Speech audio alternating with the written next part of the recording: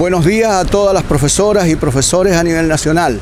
Me encuentro en presencia de nuestra colega Catherine Rosas, del Directorio eh, Regional Metropolitano, quien les habla Carlos Ojeda Murillo, dirigente nacional que hemos estado a cargo del plan de incentivo al retiro. Sabemos que este es un proceso doloroso que está demorado aproximadamente en cinco años y hemos estado avanzando en la medida en que nosotros hemos propuesto una fórmula que hoy hemos venido a conversar con el Ministerio. Afortunadamente se nos ha dado el nombre de la persona que va a estar a cargo y vamos a sostener una serie de reuniones programadas durante el año para ir resolviendo y avanzando en los procesos años 2018, 19 y 20, que es el compromiso que tiene hasta el momento este gobierno.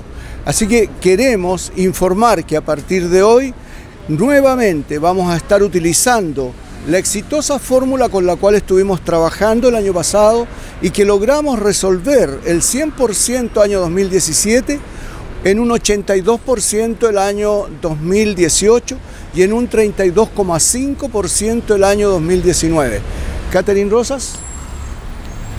Gracias, Carlos. Bueno, eh, principalmente acotar de que eh, la reunión que sostuvimos hoy día dejó desde ya programadas las siguientes reuniones a partir del día lunes, donde se nos va a entregar un diagnóstico respecto a las distintas eh, comunas y regiones y el proceso de avance del bono de retiro, lo cual es sumamente importante para las y los profesores que actualmente se encuentran en este proceso y que sabemos que de manera urgente necesitan tener respuestas sobre aquello.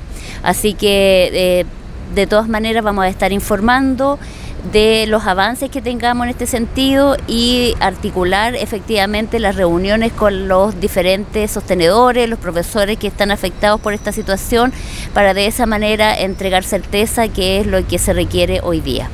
Muchas gracias.